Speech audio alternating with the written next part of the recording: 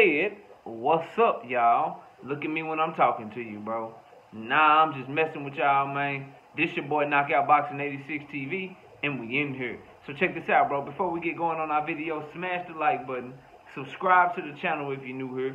Share the video. Turn on your notifications and go follow me on Twitter at KOBoxing86TV. And if you got a breakdown or a prediction you want me to do, knockoutboxing86 at yahoo.com is the email address. And don't forget that we live Monday, Wednesday, and Thursday night, 7.30 p.m. Central Time. And you can also catch us live every Sunday morning with the Singing OG KQKC Boxing Network, Sunday mornings at 9 a.m. Central Standard Time. But let's go ahead and get it popping. Let's get into our video. And today, Jermell Charlo did an interview with Brian Custer on the Last Stand podcast, and he had a lot to say. He talked about Terence Bud Crawford. He talked about Tim Tszyu. He talked about moving up to 160 or staying at 154. He talked about a lot. We're going to cover it in the video, but the main things we're going to get on, we got to talk about his comments about Bud Crawford, and we got to talk about the bombshell he dropped as it pertained to Earl Spence. First and foremost, all he said about Tim Tszyu is that his time is coming. It's basically that there's levels to this, and Tim Tszyu ain't got nothing he ain't seen, and he ready for that when the time comes. Expect that fight, he said, to be announced for him in July, maybe August at the latest. So he coming back real soon.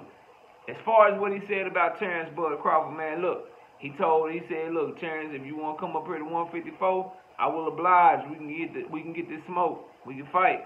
But you got business you need to handle down there. You too little. You coming up from 140, and you ain't you can't take the heat that I'm bringing. Feeling like he the bigger, stronger man. But all in all, that he won't get it popping, and it's all it's all good with him.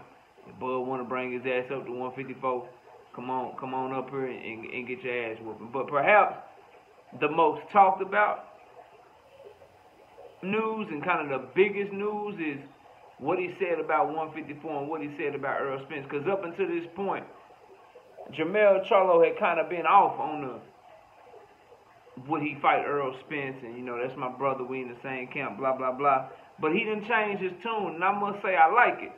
But while liking it, if you're a Jermell Charlo fan, it should raise a lot of red flags to you, and I'm explaining to you what I'm talking about. So Jermell Charlo said he moving up to 160 no time soon. He making 154 pounds easy as pop. And uh, as it pertains to Earl Spence moving up, he said, yeah, he'll fight Earl. If the money right, then we can get it popping and we can fight. He'll defend his titles against Earl Spence Jr. And we already know that EJ Earl Spence Jr. said that shit, if you my homeboy, shit, you you won't get in the way of my opportunity, you'll fight me, and we can be friends after, but we can get this bag. So Earl and I already said if he move up to 154, it's gonna be to be a two division champion. When he move up to 154, whoever got the belts, that's who he want. Jermell Charlo included. So now they both saying that they will fight each other. Um, which I'm for. Y'all know how I do. The only person Jermell Charlo should not fight is Jermall Charlo.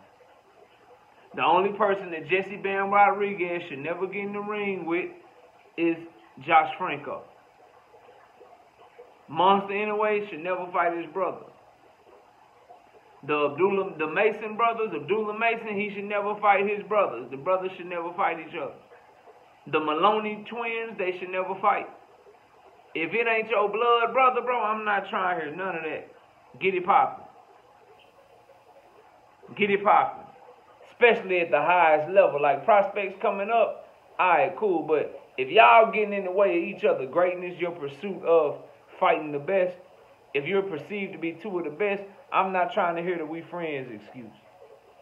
Y'all can beat, y'all can fight for the bag, get your money, put on a great performance, and then y'all can go to dinner afterwards, or if somebody end up in the hospital, visit each other in the hospital.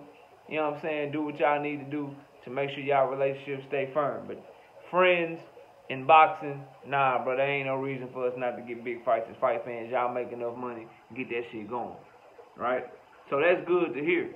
But what I don't hear people talking about, and what I want to address, and, and this ain't making no excuses, make the fight, but I do want people to understand coaching in the sport of boxing matters.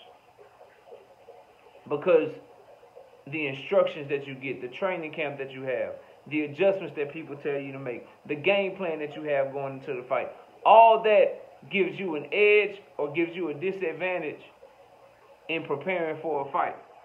And I gotta say that if Earl Spence and Jermell Charlo do fight in the next couple years, or they do fight one day, bro, Jermell Charlo not only is a savage for taking a fight, but I need people to understand he is at a huge disadvantage, bro.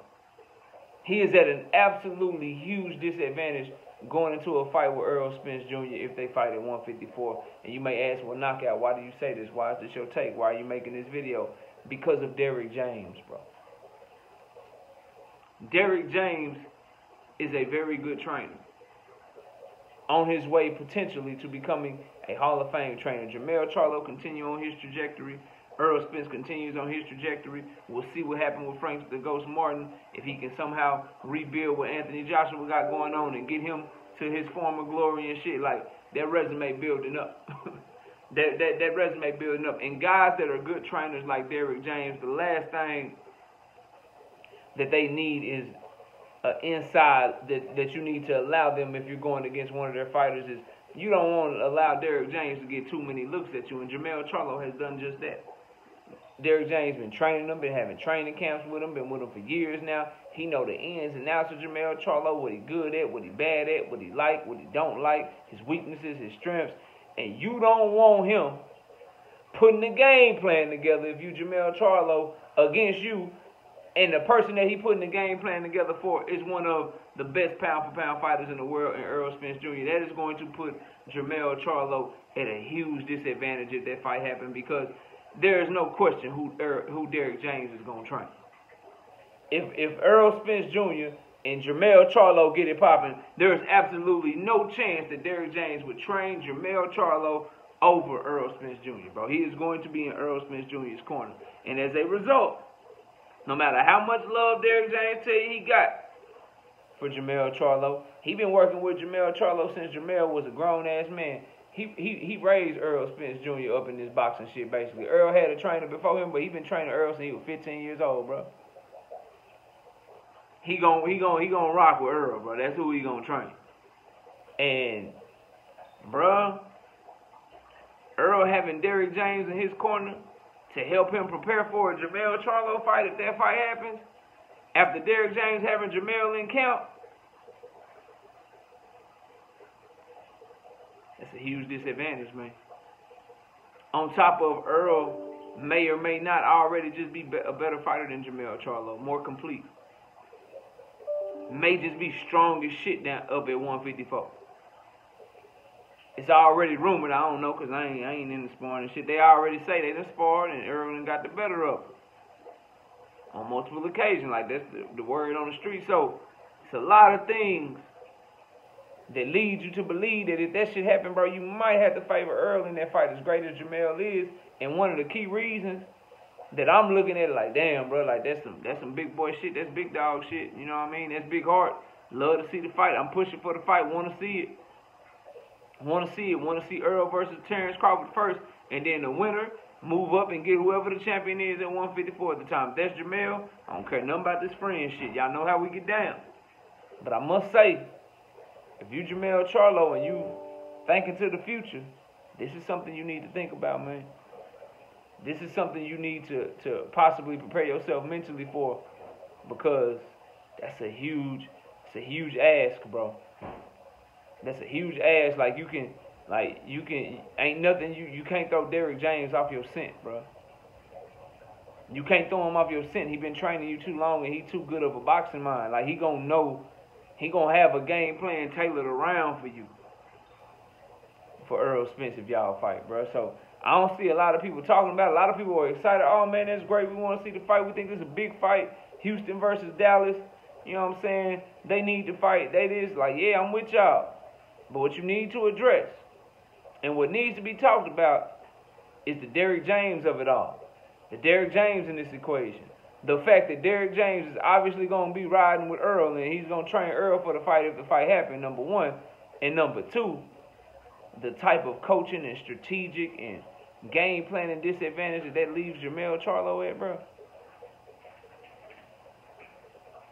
With Derrick James as well as he know his know this fighter and shit, man. Talk about that shit, man.